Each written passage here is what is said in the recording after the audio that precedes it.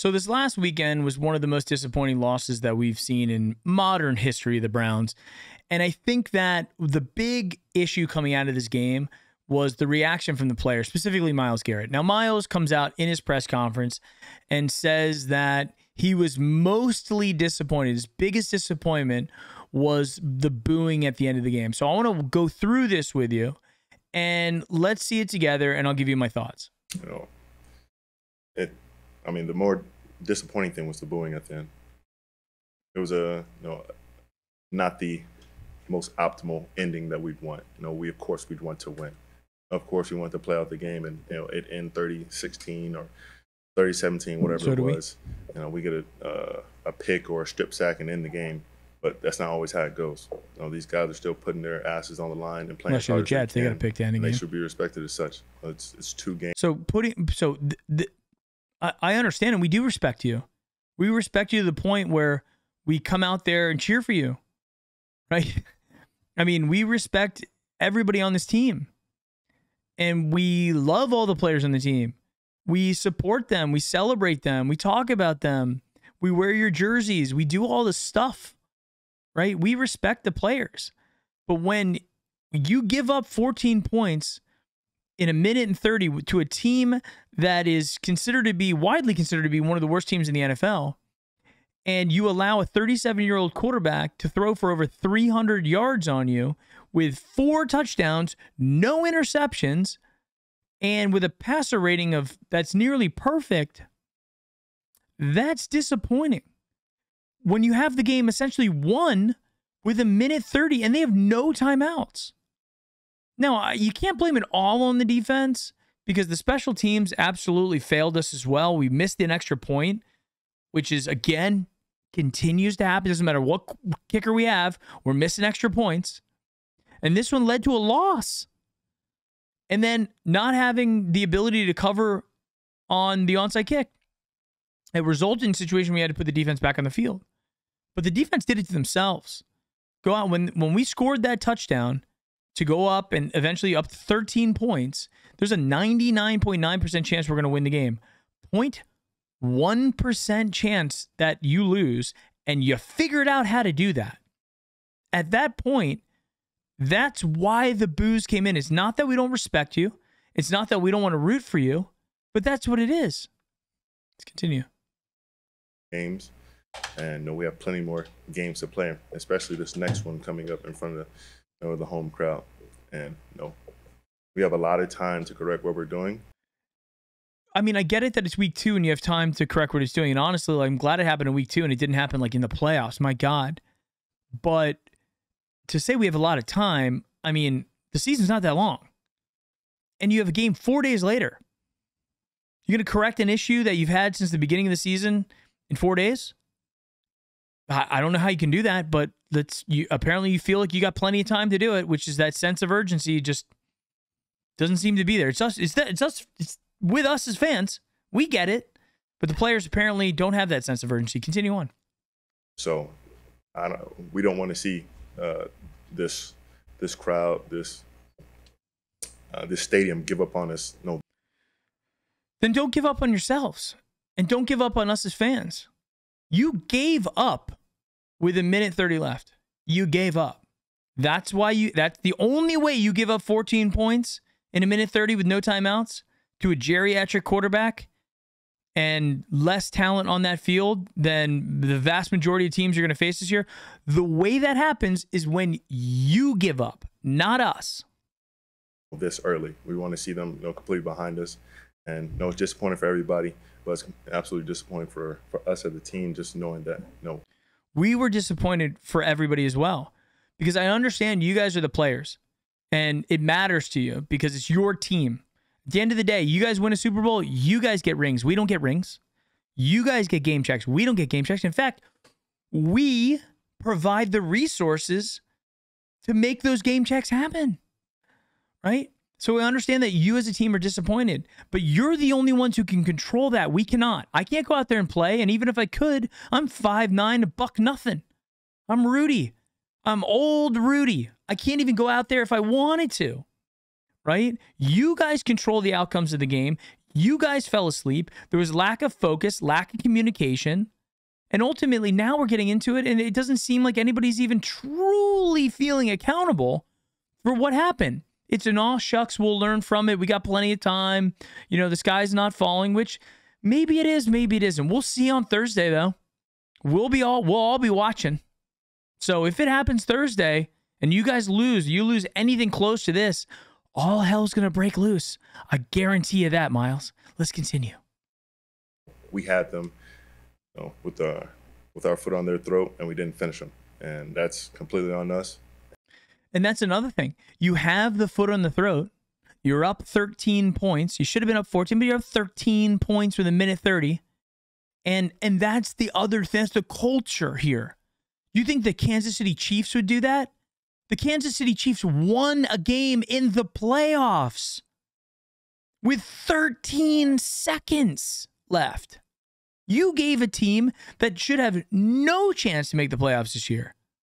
You gave them a minute 30 with no timeouts and still figured out a way to lose. That's the difference. And you know, we, we learn from this and we correct it and come back stronger. So, in this case, God, I hope so. Because if you don't learn from it, because you didn't learn from it week one to week two, the 75 yard broken coverage touchdown to Robbie Anderson that let the Panthers back into the game, which you almost lost. You were almost 0 2. So it didn't it didn't get fixed from one week to the other. So we're just going to believe that it will be fixed four days after week two. So you yeah, you have a lot of learning to do. There's a lot to do there. So let's go and take a look at what the voice of the Browns, Jim Donovan, had to say about it and get his perspective. I have nothing to say about that debacle uh. yesterday because that was a debacle. That's a debacle. What you watched was a total collapse. The worst loss I have ever seen them take since I've been watching them, okay, and certainly doing their games. So, I mean, did Jim Donovan not watch them in the 80s? Because, man, I got to tell you, the f- drive, the fumble, or even, yeah, I mean, those are the two big ones the drive and the fumble. Those are the two most disappointing games, I think, in Cleveland Browns history. And I, I don't think it's even close. This one, this one is the most disappointing in recent history. Let's continue. And I know they had one back in Chicago at Soldier Field back in 2001. And yeah, that was bad. But they were a young team then. They were on the road then. And it was ugly. There's no doubt about it. There were- but I think the thing is, they have expectations now. So it's not just about, hey, you're you're barely you're barely into your junior year, um, or soft yeah junior year, I guess, as a as a franchise coming back in the league, and so there wasn't expectations there to win. Now there's expectations. And I got to tell you, I don't care what you are. You're up you're up 13 points. Should have been 14, but up 13 points with a minute and a half, no timeouts left. You win that game. You figure it out. There's one in New England, too, that they kind of left mm. off the hook at one time when they didn't recover an onside kick, and Tom Brady came back and got him. But you were at home. Okay, you're at home with a 13 point lead, and the Jets had no timeouts left to go with a minute 55 left to go. It is inexcusable what happened there yesterday. My only fear is that we're coming down the wire, all right, and we're in deep December. And all of a sudden, on those network pregame shows, they show those columns of division leaders in the hunt out of it, okay, for the playoff chase. And maybe we're at the bottom of the in the hunt and we're saying, oh, we need this game Sunday and we need the Bengals to lose. Instead of we could have just needed a minute 55. And I'm going to say to myself, and you're going to say it too at some point, yeah, but we had that game. We had that one in September. We had that one. Every game, there's only there, there's only 17 games. There's 17 weeks in football, right? Where you're playing 17 games now. Still weird that we play 17, not 16, but it's 17 games. Okay. Everyone matters. In in baseball, you can give up a, a game. You can give up you can give a whole series of games. You can you can get swept and still win the World Series. It's not a problem. You can't do that in football. Every game is critical, and what Jim is saying is hundred percent true. They expected to get cheered when they walked off the field yesterday, mm. uh, with what happened in the last minute fifty-five. Look, here's my point to Myles Garrett or any of the other players that felt um, that they were really harpooned by the fans because of the booing yesterday. All right? Um, you're looking for a one sided relationship always.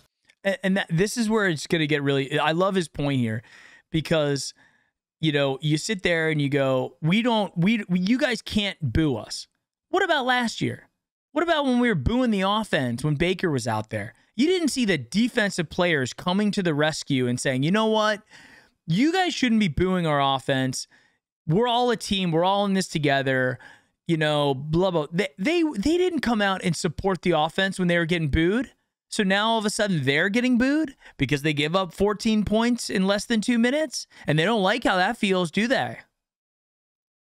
Okay, you ask them to come to the game, and they come to the game. I was you there when it ask them to fill that stadium, they fill the stadium, even through it. bad years.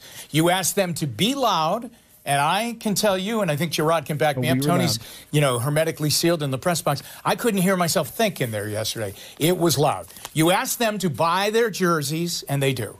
You ask them to be active on social media to get everybody revved up to the game, and they break social media getting ready for a big game. You ask them to come to the stadium early. Saturday night, I'm driving down to do the I mean, I, I, I- he's preaching.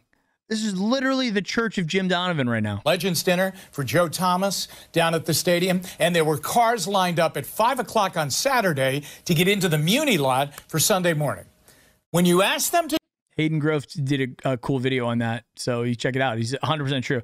I was at the stadium pro shop the night before, like when it was closing around 4:30, 5 o'clock, and then Hayden's Hayden's post came out on Twitter where they were lined up. People were lined up, excited to to, to go to the home opener. do all of that, they get to do whatever they want, okay? It's a one sided relationship when all you want are cheers. You know what? If you were a Broadway show, after that performance yesterday, it would have been canceled today. You know what the funny thing is?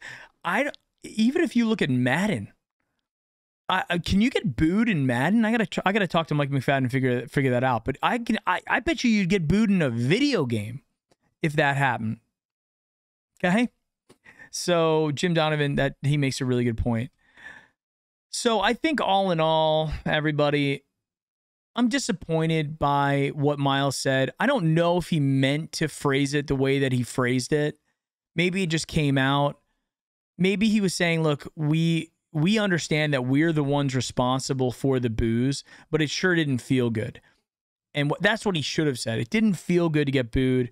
We felt horrible for the way it went down. We tried our best and it felt awful to be booed, but we understand how passionate the fans are. We understand that they care so much about this and they let us know that it was unacceptable the outcome of that football game. And we're going to we're going to hold ourselves accountable for this. We're going to be smart, tough and accountable moving forward, and we're going to hold ourselves accountable. And that is what we want. We don't want finger pointing. We don't want aw shucks. We don't want, well, we got plenty of time to get this all figured out. We want it figured out now. If you want to have fans in the stadium cheering for you and being excited for you, then let's get this thing figured out. And we'll go from there.